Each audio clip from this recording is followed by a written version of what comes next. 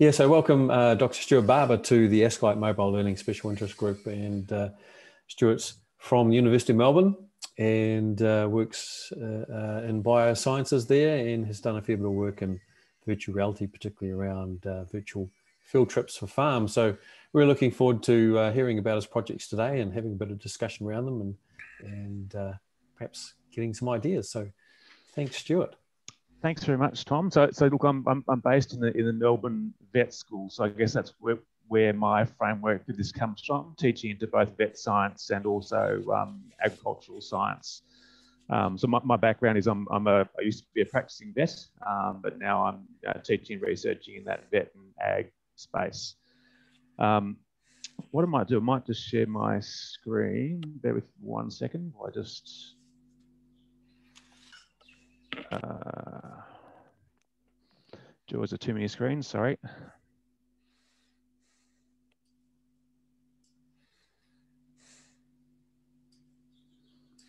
All right, hopefully that's showing you a front screen with a nice picture of canola. Fingers crossed. It's uh, about it, to, it hopefully. Always takes a little while.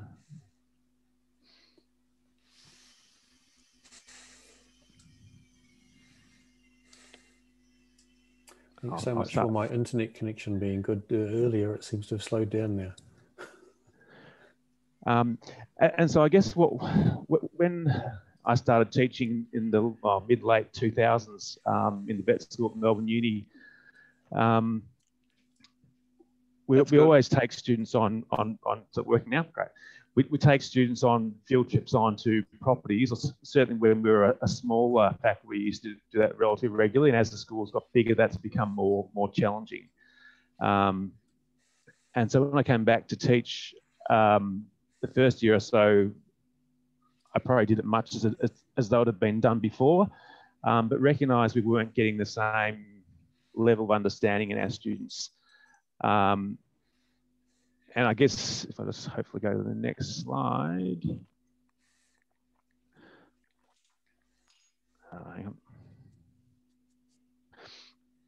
Um, when we were looking at the assessment outcomes from our learning outcomes, we really weren't getting the results we were after for our students. Um, they were coming with answers that just didn't make sense uh, in terms of from an agricultural point of view, um, because the students didn't have the background um, from that area. So a lot of the things that might have been assumed 20 or 30 or 40 years ago, students weren't coming into that course with that knowledge. And so we needed to work out how we could actually um, teach them those things that a lot of people in rural areas would think of being as common sense, but really are learned understanding.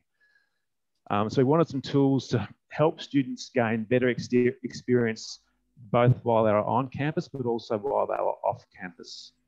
So our students also have to do work on farms. They have to do 12 weeks of work over two years in their holidays. And I put inverted commas around those holidays.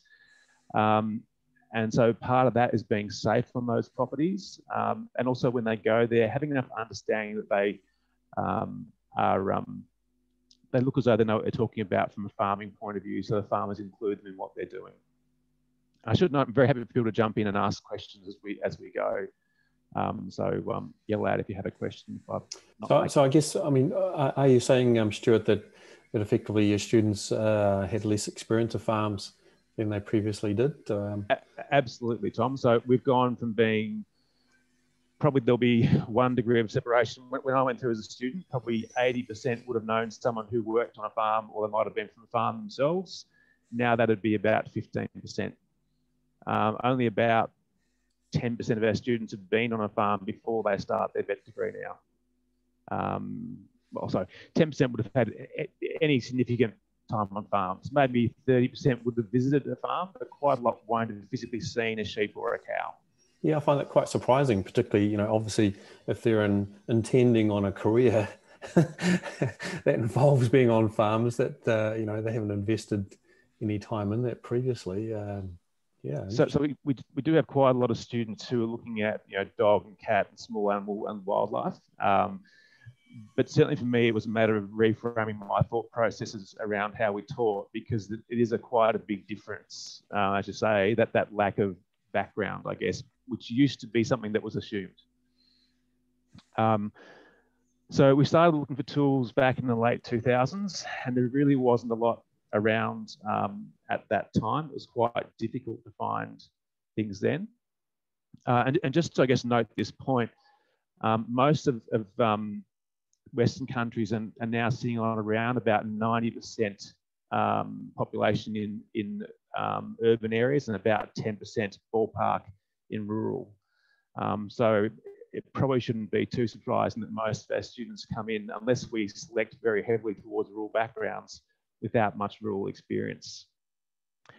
Um, and the Primary Industries Education Foundation of Australia has run some surveys over the past 10 years um, and pretty low levels of self-rated knowledge from students. Um, and, you know, for example, have, having the understanding, I think 30% of secondary school students don't think that yogurt is an animal product. Um, and similarly around uh, denim cotton jeans, don't think that's a plant product. So when you look at that, you recognize there's some issues in terms of the educational process, not just at university, but also going back into primary school, which is, I guess I'll, I'll talk about shortly as well. But um, this, I guess, has been driving my thoughts around trying to build some better tools for use to try and help this, this area. Um, so, again, big shift of population. So historically, there was a much um, bigger percentage of population in rural areas, uh, and that's really pushing every five or 10 years, there's another you know, part of a percent that moves into the large cities rather than rural areas. We also have a lot of um, extra international students in the last 10 to 20 years as well. So we need to be cognizant of that when we're designing um, our material. Uh, and as, as, I was saying, less general knowledge, which most of our farmers would refer to as common sense, um, but from my point of view is, a, is learned knowledge. So that, that's, I guess, the, the background and the scene setting for how we came to looking at virtual reality as a, as a potential tool to try and improve learning. Uh, and this is just looking at the, the some of those um, survey results from um, the students responding. So 17% uh, of students think that bacon is made from a non-animal product, which is, I don't quite know how you come to that thought. And again, this is secondary school students. There, there is um, vegan bacon though, isn't there, you know? There, there, certainly is, and generally is defined as, as not it'd be called V bacon or a different word for that. But you're quite right, Thom. Um, and I think that does lead to some of the confusion because you have a lot of products they they in terms of their naming, it does cause some confusion. Um, even when you go down to a, a woolen rug, um, you know, 42% of students not thinking that's an animal-based product, which is concerning given the name.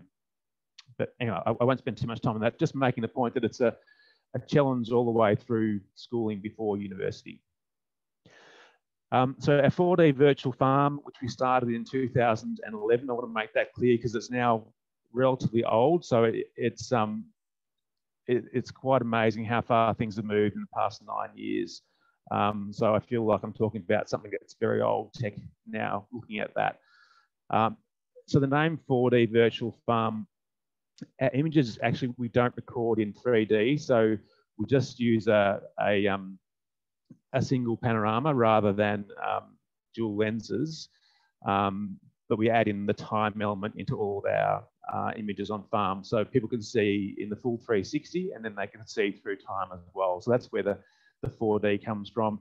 It's a little bit cheating because it's not technically 3D in the first place. It's just a flat panorama. Um, but that's where the original name came from back in 2011. Um, and again, the reason for doing this, we take our students out to properties and what you can hopefully see on the screen there.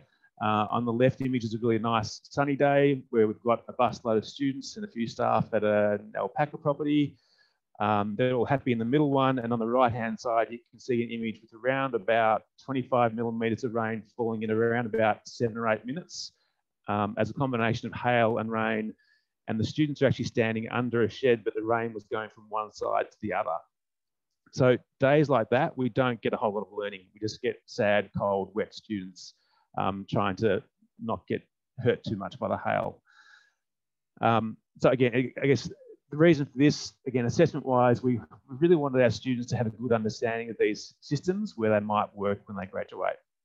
Uh, and students mostly really love our property visits, but we wanted to be able to help them learn prior to the visits so they could actually understand better and then be able to reflect when they came back from those visits. Um, also, as a way to help if we had you know, obviously bad weather on some of those visits, which is obviously going to happen at various times. So from my point of view, certainly we'd ideally like to always do field trips uh, and that continues as, as the gold standard. So I don't want to suggest that we're not looking at doing um, you know face-to-face and field trips. Uh, I think that is the ideal. The challenges with that, probably the biggest one is, is cost. Um, every day of taking students on the road is probably going to cost you know $10,000, so it's not cheap to do. Uh, the time for that, both in terms of staff and drivers and accommodation and food and all that sort of thing, is, is quite significant. Um, we get a difference of ha how students experience that. So we don't take all students to the one property on the same day. And so it might be quite a different experience for some students on one day versus the next group the next day, just based on weather um, or on who from the farm might be able to see us on that day. Um, another key one for us is biosecurity. So often we actually can't get onto properties. So a lot of piggeries and chicken farms have very stringent biosecurity and it can mean we can't get onto the actual property. And, and that's, I guess, one of the key things where a virtual field trip is very, very useful because it means we can still, um, you know, visit those properties at least in VR to uh, see how they function, whereas we can't do that um, face to face. So when we set out to design it, um, it really needed to be easy to use uh, because a lot of people using it in terms of lecturing staff wouldn't have had a lot of experience, and the same as students.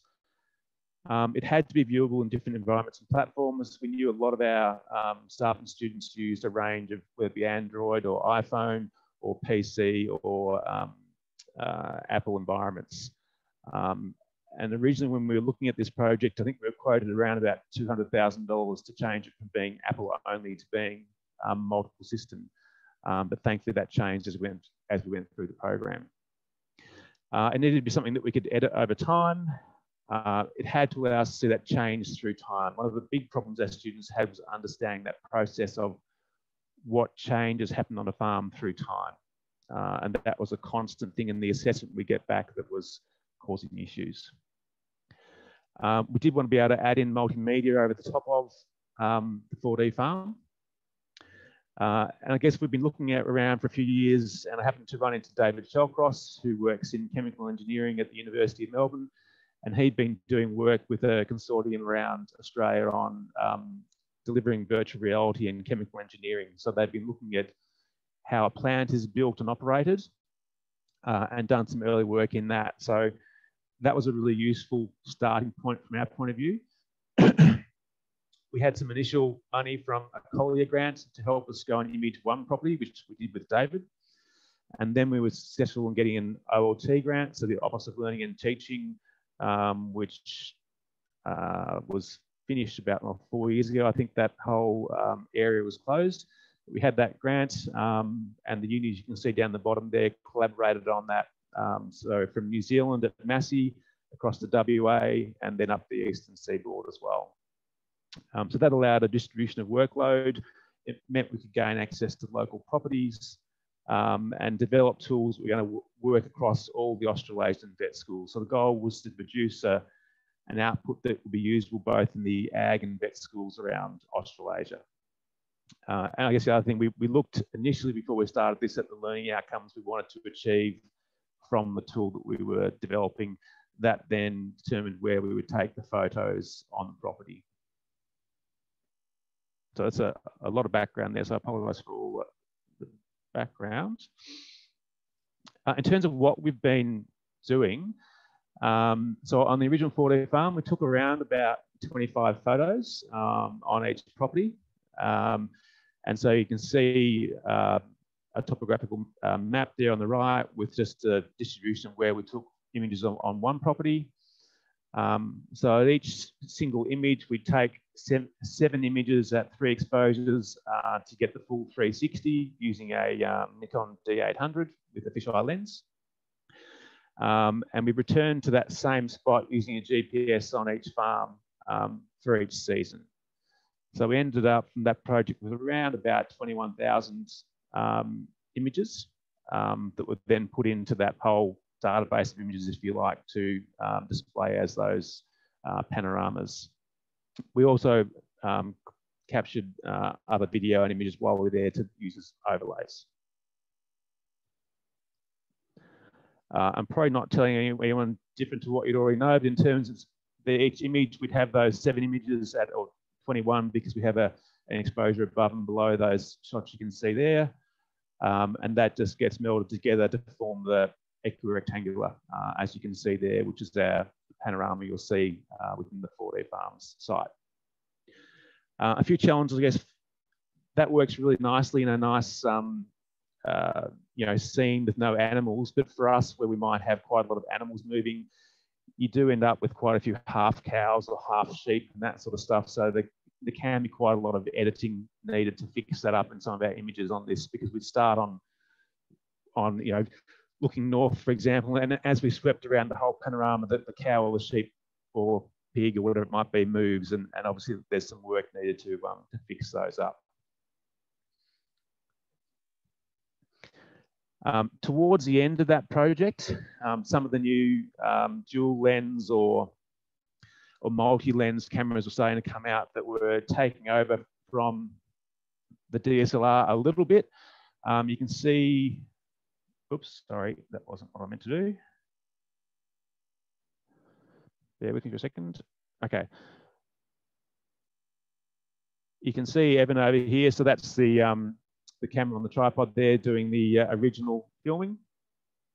Um, and again, a whole range of new cameras have, were arriving at the end of the project. Most of them didn't really have the quality we needed for these images. So one of the key things we wanted with these images was high quality so people would actually enjoy looking at them and be able to zoom in and see different structures. So at, at that time, there were no other, I guess, single, easy sort of point and shoot cameras um, that you could take anywhere near the same quality of, of image as what we could with the DSLR.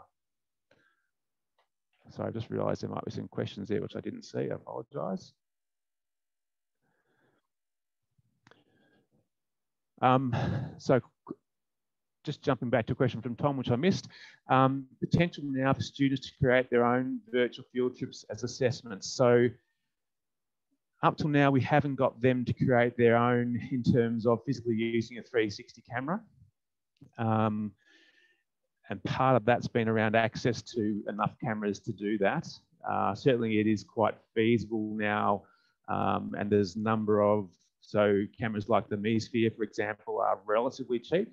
And so we could actually potentially have a few of those, but we wouldn't have enough for all the students. So I guess that's our, our big challenge. Uh, and equally, most of those dual lens cameras are inherently um, very simple to break. Um, if you don't have them well secured on a tripod, um, they're very easy to break, which is yeah, not ideal. So that's our current challenge, unless they were to do it using their phone um, on, a, on a tripod to actually take a whole lot of images to then stitch those together. Um, so there are, there are ways I could do it. Uh, what we have done is actually get them to go into the 4D farms and provide a report from that. So utilize that as a resource to capture images and demonstrate their knowledge and learning from that, which I'll, I'll come to in a second. Oops. Um, so in terms of the elements on the screen that we added into this, you can see an equirectangular image um, there. So that's a farm up in New South Wales, uh, so near the sheep yards. Um, one of the key things we wanted the students to be able to do was to orient themselves. So you have a compass in the top right, so you can see what direction you're looking at at all times. Um, there's a number of elements in here. So we have window panes. This little uh, window pane symbol here brings up these windows that show you all the actual photos on the property. Then we have this world map symbol, which brings up the actual property and where those um, photos have been taken. So you can move around the property clicking on these little dots, or you can move around using these window panes, or you can move around using these arrows, which take you to the next nearest photo in that direction. Um, so this is all done using krpano. Um, you can move around or move your vision around using the arrows here, and you can zoom in or out um, by these functions here. Is that all web-based, uh, Stuart, it's or do you 100% need 100% web-based, in, yep. yes, all, all WebGL. Um, then up here, you can see the different um, times we've visited. So you can scroll down that using your mouse and, and just select the time that you want. Uh, what you see on the bottom here is an, an addition we've put in where we actually have, in this case, we have the rainfall over time. Uh, and this dotted line you can see here corresponds to the time we've actually visited to take those photos. Uh, and if we go over here, we actually can drop down temperature as well. So you can see the rainfall and temperature throughout the year, um, the time of visit, and also that you know preceding rainfall and temperature. Um, so that was a, I guess, a easy, probably took about 12 months to get all that um, sorted out and, and uh, functioning well at the start when we built this, so this all happened 12 months prior to the first Oculus coming out, the old, uh, the DK1. Um, and, and, so we, we put it into that, the VR version then um, towards the end of this project.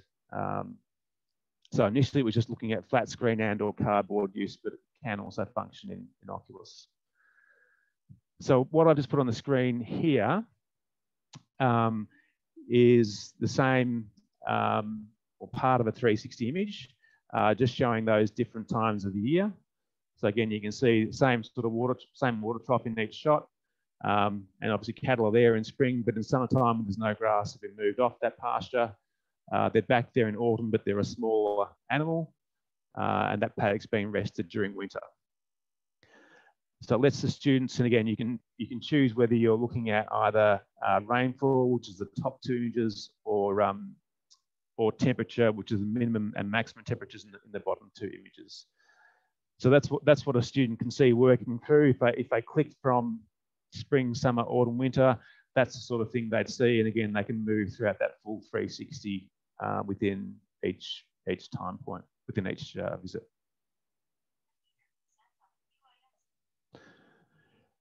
Uh, and similarly, if, if they were to jump between properties, so we imaged um, 11 properties around Australasia. So you can see there's a West Australian property on the top left in summertime. Um, and WA in that wheat belt area is very dry then, as you can probably hopefully uh, see. Um, Queensland again in, in dry season, looking relatively dry in the top right. Um, Victoria in the bottom left, uh, relatively flat on a dairy in Gippsland and then New Zealand in um, not too far from uh, Massey, so on the North, North Islands, um, showing some fairly mountainous country not too far from Mount Ruapehu for those that know that part of the country. Um, have you um, uh, done anything with sound uh, within these environments as well, Stuart? So it's actually a really good point, Thom, and something that we should have done and didn't do was capture sound on each day that we were there because um, I now consider sound as actually a really important element, which we will add into future versions. But unfortunately, at that time, we, we didn't. Um, and equally, at, the time, it was a little bit more tricky to bring some of that into some of the, the, um, the software, but certainly I, I, would really like to have it now. As each image comes up, the sound for that day would come up as well, would be an ideal outcome. Um, because it certainly does help from the work we've done since but for this actual version, we don't have it. Um, so it's all web-based um, and runs happily on, um, it certainly runs best on um, Firefox or, or Chrome um, in most cases. They tend to be less buggy, but all mobile devices it runs on happily, uh, whether it be Mac or Windows, um, and similarly on Oculus as well. Uh, so we, we did transfer into, into a VR compatible version. Um, so the split splits off left and right eye uh, it runs happily um, on that. Um, so, said, the differences, the extra things we added in, uh, and these are really a PC or, or a, a, desktop or laptop version, is the weather data. So in the actual VR version or the mobile version, that doesn't come up because it makes the screen too busy. Um, extra videos again, photos, some text. So we built a, a glossary, so a PHP database glossary, which I'll show you in a second, that students can click on. That takes them to the time um, and position on the farm where that element is being shown. So for example, it might be a, a header in a paddock and them seeing how that header functions to actually take, it, take a crop off, for example. Um, and additionally linking it to assessment so we can use this in iframes for you know, multiple choice questions, whatever it might be. Oops. Sorry.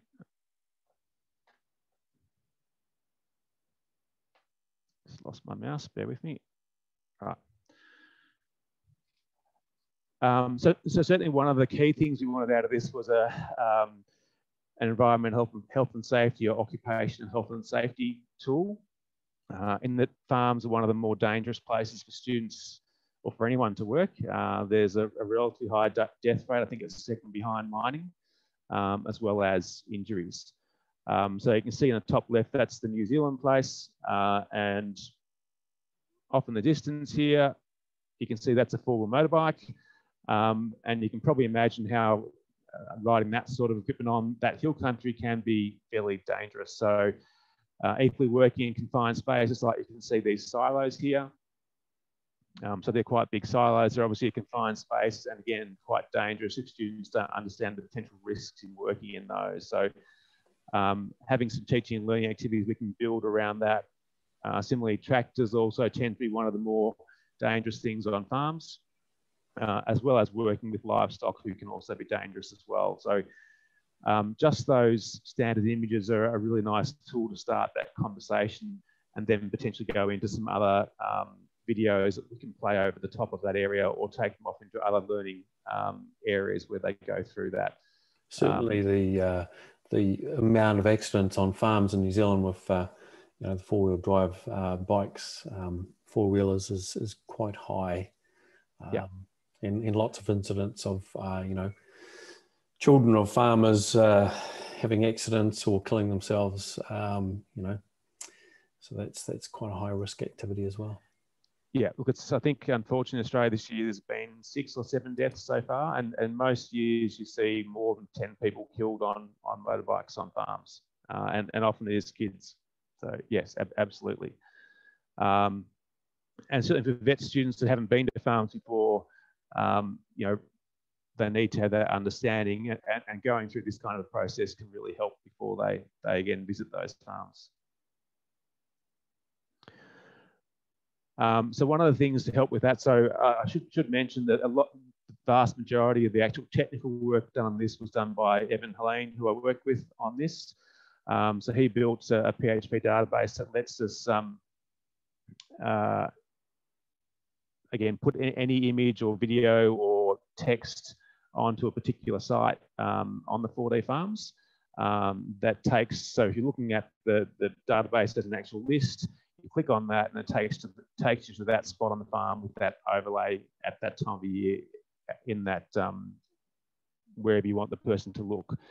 Similarly, we also have a, a, a point location tool where for example, if I want to show something in a lecture, I can grab that web address, um, paste that into my presentation, and it actually brings up that specific point in time at that direction at the Zoom function to allow me to go straight to the point I want to be at rather than have to click through lots of different parts of the 4D farm to get there, um, which makes it much easier from a teaching point of view and, and a lot more user friendly to, um, to do that.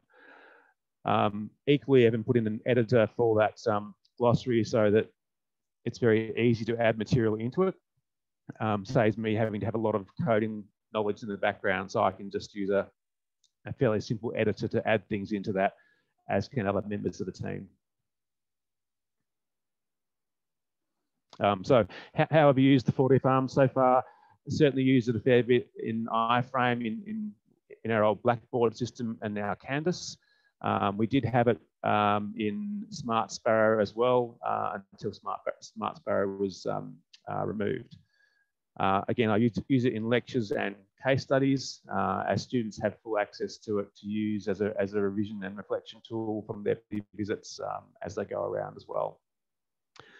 Um, we haven't done this too much yet, but certainly in terms of uh, uh, one potential uses as a, as a treasure hunt, if you like, to find certain elements uh, and screenshot them as a demonstration the students actually has found certain elements on the property and understood why they exist at certain times, for example. Um, so they have to go through both around the whole farm to understand that, but then also through time to see what happens um, throughout the year. So that, uh, uh I just want to quickly add on to that. So the, the 4D farms um, was a real advancement for us. I guess Dookie VR is our, our, next level version of that. It's been funded by the Melbourne Network Society. Uh, and the team you can see there again with um, Evan on board, then Ben Loveridge from Learning Environments, uh, Ben Croonan, who's done our photogrammetry, uh, and then also working with the Centre for the Study of Higher Education and Melbourne Graduate School of Education as well. Um, so Dookie's just our, University of Melbourne farm in Northern Victoria. Um, there's a dairy and a sheep cropping enterprise are the major two enterprises there, uh, along with a fair bit of research on the farm. So it's both commercial and a, and a teaching property. And so the goal really for Dookie VR is to bring, is to try and I guess reduce that urban rural divide, certainly for our students, but hopefully more broadly once I can start taking into, into primary and secondary schools, um, looking at trying to reduce that gap in knowledge uh, um, and giving primary school and secondary school teachers um, more tools to help explain some of those things that is clearly um, knowledge lacking. So I guess a key thing for this was, was, was the changes in tech that had happened in, in the intervening years. So we started this in 2018. Um, as I said, we've been using the DSLR camera you can see in that top image. Um, whilst that gave us really high quality images, it did take quite a bit of time to stitch those images and there was a fair bit of post-production work to make them look as they should. Uh, when we started doing VR, we opted to move to using Panono, which is this little softball size bit of kit with 36 cameras, um, which is fantastic because it takes um, all the photos at once. And so it doesn't matter as much if animals move. Um, so that was a real step forward. It's also automatically stitched online. Um, my concern around that uh, model when I bought the Panono was that if they wanted to, they could suddenly start charging money for stitching which they said they wouldn't do. But then after nine months, they then did start charging money for stitching um, at about $1.60 a photo. They stitched you up. They stitched us up, which was not an, to be honest, wasn't a massive shock. Um, but yes, they did. Uh, and so there was mass anger on every known Facebook site, site for uh, the Panono. Um, but thankfully, at the same time, X-Phase Pro uh, released this hand grenade looking piece of kit right here, which while it's only a 25 lens camera, actually takes a, a better quality overall image. Um, it's a little bit clunky to use because there's some challenges around how it's um, uh, getting getting to know how to use it. Um, but a really high quality stitch, all done on your own computer. Um, and so um, we move from the Panono onto the X-Phase um, for that reason. You can actually, there are models to sit Panono not using the cloud server, but they're, again, a fair bit of work. Um, so actually much better HDR quality. Uh, and we're also using the 1X, which is this one just here. And yesterday the 1X2 got released, so it's an upgraded version of this. And then the Kandao 8K for video, uh, for 360 video work. Uh, then we use a, Map, a, um, a Pro to do um, 360, 360 aerial. So the Mavic takes about 21 images uh, and that gets stitched together as you can see in that image there. And that's just showing that, again, that, um, that time element. So summertime, um, that one's early spring. Uh, sorry, no, that's late autumn. Um, so a challenge for us has been over that longest period of time picking the right equipment to try and get those bets right. We certainly got some of them right and got some of them wrong. Um, there's certainly better gear around than what we're currently using. So we could go with something like the Insta Pro. This is the Insta Pro 2 actually. Um, but you're talking, you know, seven and a half thousand dollars or more for that. Or if we went with the um, titanium, that's about fourteen thousand dollars, I think. Um, for what we're looking at doing, um, so the Kandao and the the Insta one are, are actually good for that because they're smaller, so they fit in spaces better for us.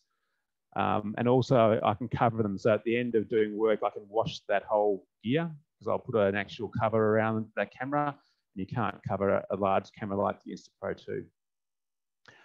Um, again, massively changing space. So that's one of our biggest challenges, is keeping up to date with what, what's the optimal equipment for the right price. Uh, and then making sure we use that so we can share it with students in a way that works for the students, because that's the key thing at the end of the day is getting content that that is viewable by students in the right way to achieve those, those learning outcomes. Oh, I just wanted to show this, this is um, just a, an early phase one. This is an image of some of the photogrammetry of the Dookie shearing shed by Ben Croonan. And if I can just get this up. Again, this is a low resolution fly around. Um, he's taken around about 3,000 images. And so there should be a, a, um, a fully VR compatible walkthrough of the, um, the shearing shed um, which looks, so this is an earlier image, the, the newer ones look quite stunning, the quality's um, amazing. Um, so that, that sort of thing combined, whoops, that wasn't what I wanted to do. That sort of thing combined with other tools in the farm in the long, long run um, should hopefully bring a, a, lot more interactivity into the, uh, the elements as well. Um, certainly for this year, there's been a lot more use of, the, of these tools, both Dookie VR and the 4D farms. Um, so the ag faculty, it's been used as an online ag case study. And, most of that was actually the lecturer taking images out of the 4D, out of Dookie VR to use them. He wanted to be quite directed in what the students were doing. Um, we have run a, an across university virtual extramural work um, program with students as well. So in December and January, we'll have about 500 students going through um, placements because we can't get students onto farms yet. Uh, we'll be utilising the virtual farms as, as, a background for that with a lot of other material overlaid on top of it. The actual images through time of, of the 4D farms provides the backdrop. Um, so it's been a really useful tool. And again, mostly students are using it um, as, as a screen-based version rather than in VR If they have a Google Cardboard, they could be doing VR, but most of them, or some, some would have a Google uh, Cardboard, but a lot don't. Um, so we haven't been pushing them into that direction in the short term. In the longer term, that may happen. Um, but again, it's quite usable across um, any of those, those areas.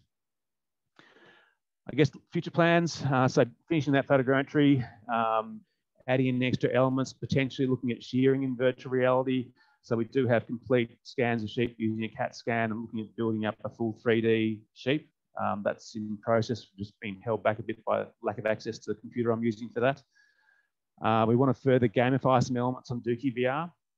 Uh, with the library of images we'll have from that, um, there's about 130 hotspots or 130 panoramas taken on Dookie, and I'm visiting there about once every six weeks. So we get a, a massive resource in terms of images that we can use. So we can use those to actually gamify um, decision making for our students and show them how things might change with decisions they make. Um, similarly, adding further elements to the glossary module to help students understanding that as well. So we're only part way into it, but it's a, so it's, it's a big step forward now, certainly a lot easier to do what we're doing now. It takes a lot less time. Um, and really looking at trying to do this across more properties um, and build in more education for different age groups, I guess, to make that more available. Um, I've, I've, run for a long time there and been talking lots. Um, so future plans, I guess, for development, certainly LiDAR capture, um, yes, and, that's something we want to investigate, uh, I suppose, at, at, both broad scale, but also looking at doing some smaller scale um, captures in certain areas to bring those to life. Um, we, I should be doing um, research publications right now. I'm, I'm, trying to get other teaching stuff done, and this this year has been hectic. But certainly, there's uh, three papers in in motion at the moment around development of the farm, looking at survey data from students who are doing these um, placements, to actually look at what are the actual learning outcomes, what are students' perceptions and staff perceptions of how well the tool actually functions um, to assess that, to then um, look at its use and similarly looking at doing that similar thing in primary and secondary schools as well. Again, that's a longer term project because it takes more human ethics to get through that process, um, but that is certainly the, um, the goal. Uh, and, and so certainly the more, the ability to move around um, with the user choosing exactly where that point is would, would be fantastic. It's just a matter of the working out the technology around that and the physical limitations to that. Um, I guess part of that being bandwidth. Uh, that's something we haven't actually investigated yet, um, but, but certainly there has some benefits. Equally, if we can restrict students to looking at specific areas where we have specific learning outcomes, that can minimize the amount of time. It's very easy to spend oh, at least an hour in the 4D farms and not know where the time's gone because you're looking around through time and space and getting and so, so potentially having a lot more space to examine whilst it has some benefits it may also have some negatives with it as well um, but yeah certainly yeah yeah just sort, sort of thinking uh, you know the ability for the user to be able to choose their point of view or be able to move around um, you know within that environment beyond uh, you know with a 360 image you, you've got a static point of view um, you can zoom in and out, but uh, you can't, you know, you can and turn around, but you can't change where that point of view is. Yeah, look, um, absolutely, and, and I think that's it'd be nice to do that. But the challenge is the extra time and cost, I guess, in, involved in yeah in yeah, doing that. Sort of thinking, you know, because you know, I've seen some some um, haven't haven't used myself, but uh, been seeing some demonstrations of lidar over the last couple of years, and certainly the the cost of it has come down exponentially. Yep. Um, and but the key key, I suppose, at this point is still the uh, amount of data involved and the bandwidth around that. But but once again, you know, that, that's all changing as well quite rapidly. Look, I, I think there's a, a, lot a lot of potential in those areas coming up. Um, I'm just trying to get one of these images to actually show you how this works. I can but yeah, I mean, what, what you created is fantastic, and I think it's uh, it's great that it's actually been a longitudinal study as well. So you know, nine years of work, uh, that's quite significant, and um, really encourage you and the team to be writing that up. You know, share what you've done, uh, get it out there. Um, you know, use it as a framework for other people to build on, or, or you know, by reflecting on what you've done, uh, really establish some really key design principles. That it doesn't matter what the technology is yeah. it's the goal it's the outcomes that you're after. And so you know being getting your stake in the ground around those design principles which you you must have established by now uh, getting them out there in the literature you know, 100% and, and, so certainly it's been something that's been on the agenda for obviously quite a long time um, and of course i mean the team was very chuffed so i think in 2015 we um, were placed in the australian innovation awards. Um, yeah going back then again a lot of things have changed. Obviously in that time so it was quite novel when this whole program started whereas now 360 imaging is becoming more and more simple. And, and to, so it means there's a lot more chance for this to be done well by a, a bigger range of people who don't have a lot of extensive experience so yeah uh, i'm just going to try and bring another slide uh, right bear with me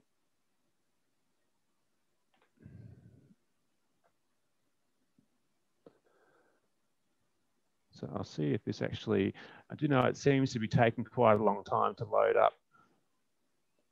Yeah, there was quite a delay in your uh, screen coming yeah. through. Uh, it may, may well be.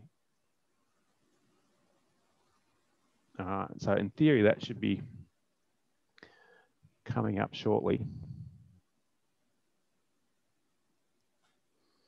so what I'm putting on the screen now is just a shot of a, Dookie VR to show you what it looks like in the in the real um, place. And again, it seems for some reason on Zoom it does seem to take a long time to load up um, the 4D farms. Not sure why.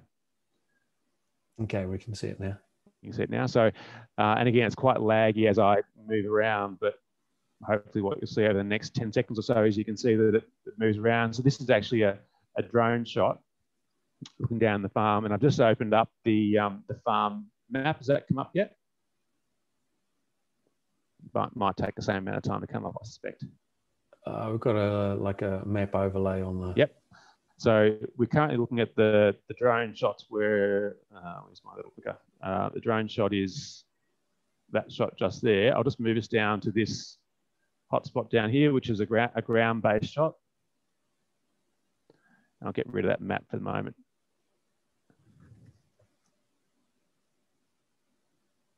So do the colors on the map indicate the type of shot? Yeah, so on, on that map, the green-based dots are all our, our ground-based shots, uh, and the pinkish hue are the drone shots. And so the other thing, obviously, we can do on this map is there's a whole lot of other elements, which I'll just open so you can see what they all look like.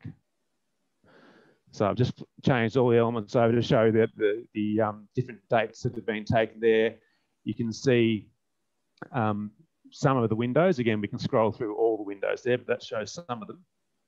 Um, and you can see all, all the controls there. We can change that rainfall map to a, a temperature map if we want to. Um, and we are looking at adding in the production indices for the farm onto that same map. So it'd be how much milk the cows are producing on a daily basis throughout the year as well. Um, and again, we can put more onto there, but we don't want to overload the, the whole area too much.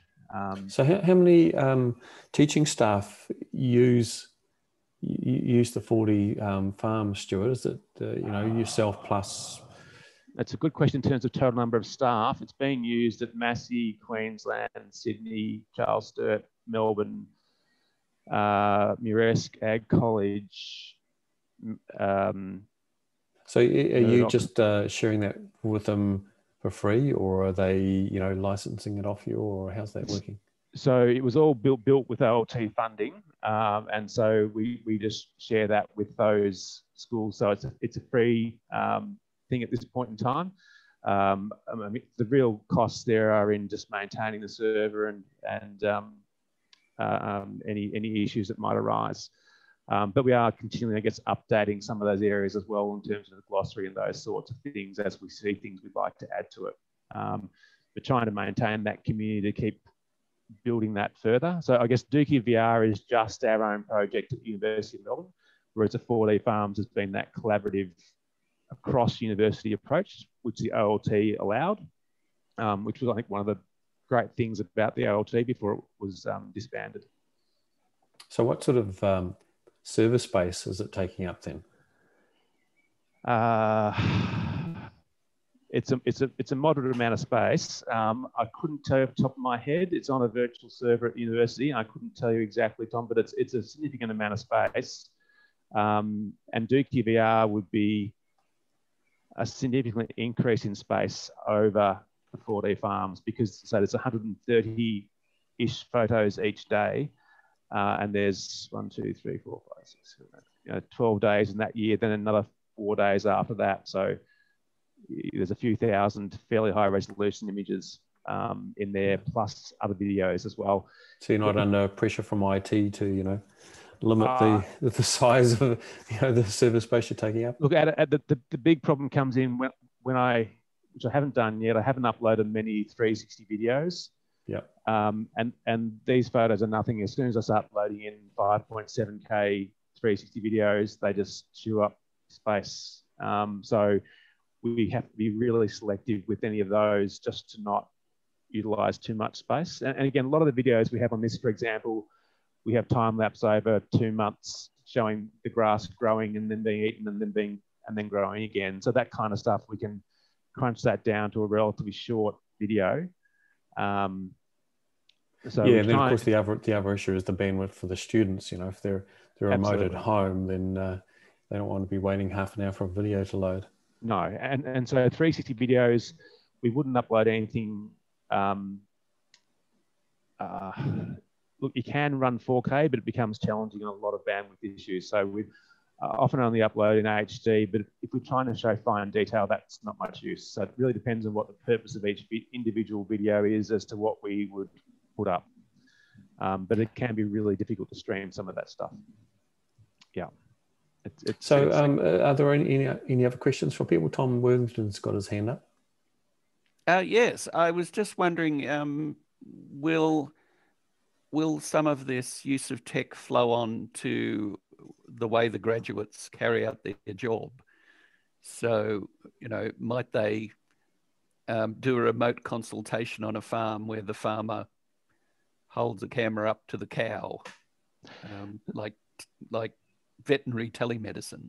So look, that's actually been happening a bit during lockdown. So I know a number of vets have actually got their farmers with their iPhones or Androids or whatever out in the paddock doing a you know FaceTiming or whatever with their sick animals, healthy animals, whatever it might be through that process certainly what we have been doing, even in the clinical hospital, for example, is doing 360 video of procedures to help students learn that might not see that procedure, for example. And again, that kind of thing can be kept local, so you're not trying to display 4K footage via the internet. It's kept on a local computer so students can see that, you know, at, at university. But equally, um, we have been streaming some stuff, or one of the other lecturers has been streaming some 360s to students during um, lockdown, looking at anesthetics and surgery and that sort of thing. And so I think um, that will become more common as students are more exposed to it and less scared of it. It's probably likely to become far more commonplace, and, and as well as costs coming down quite dramatically.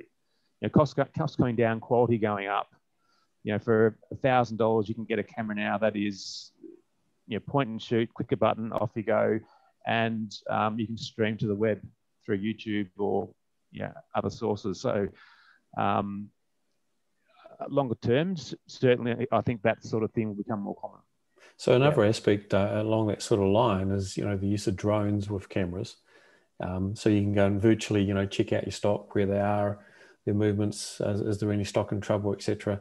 Uh, I suppose part of the limitation with the drones is the uh, battery life and how long they can, you know, the distance, etc. But you know, for example, in say paramedicine, drones are being used to check out accident sites and make sure they're safe or you know is, is there actually someone someone alive in that car etc you know? Yeah. And look, certainly the drone shots can be i think really really useful and, and help to get that overview on, on our area. What, one of the challenges we face with that often is just some of the legalities around that and, and location of property. So one of our properties is within five kilometres of an airfield.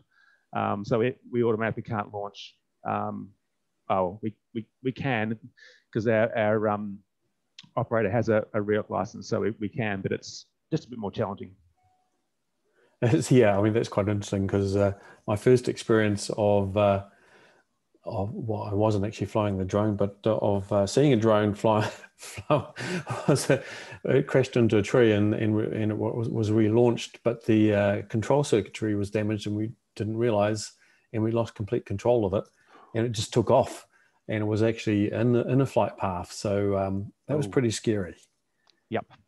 Well, so we were flying. So I had a one of the Panono cameras was up underneath a, a, a, relatively heavy lift drone, and unfortunately, a very strong gust of wind came in, and the, the camera was on a 40 centimeter offset from the drone, and so that acted as a very nice lever arm, ripped the drone out of the sky, sky, crashed the drone and broke it in half, and crashed the camera and broke it in half. So it was a fairly expensive morning's morning's flight. Yeah, yeah, yeah. Hence the reason we're now using the Mavic to do the, the shots rather than putting up a 360 camera. So is there any other questions? Well, the, the one on the, the bandwidth needed interests me. Um, I'm got a 1.5 megabit per second link here at home at the moment. Um, and I actually noticed that the images displayed in the Zoom now work really well. I get essentially still high quality images. Um, I'm wondering it may be possible to um, create some software that allows um, adjustment of the resolution. And if you wanted to do that, um, the ANU TechLauncher students each year need projects to do, and no doubt your university will have a similar group of computer science students in need projects. So it might be possible to do it where the student gets a slow scan, high resolution image, and then when they want detail, it would give them video zoomed in, in effect. Yep yeah, I mean, anything that improves improves that. I guess, guess what?